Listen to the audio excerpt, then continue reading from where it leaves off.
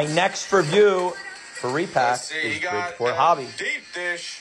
and I just right, bought let's see how many we got here. $150 One, two, three, deep four, dish. five, six, Cool seven, name. eight, nine, 10, 11, Something 12, different. 13, 14, 15, That's the box. 16. For 150 bucks, interesting floor and ceiling. Floor of 90, ceiling of 300. I like it a lot. I am more that style than like a super low floor and a super high ceiling. I think it pro- provides for better 15. stuff. But there's All right, there's a it, give and take. You know, there's strong strong sides to both, obviously. He said number So it's literally 15. a pizza box. I was not expecting this. It's literally a All right, pizza good box. luck, man.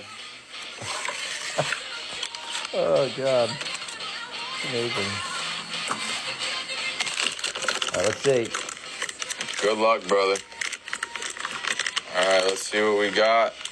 Let's see what we got. Ooh, Zach LaVine. Bang. Nice. That is out Uh, so my first thought was pretty pretty 17. good card. Zach LaVine's kind of Zach kind LaVine of hot. That's the auto. 17 on card. for the Chicago But let's go to the comps. Is- The comps are in. 86 bucks in this Zach LaVine, so that's fine. You know, give and take 10 bucks is absolutely fine for a floor.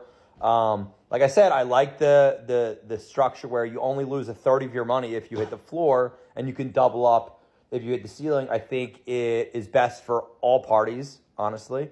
Um, I liked it. I like the box. Bridgeport Hobby. I will be back. The hobby.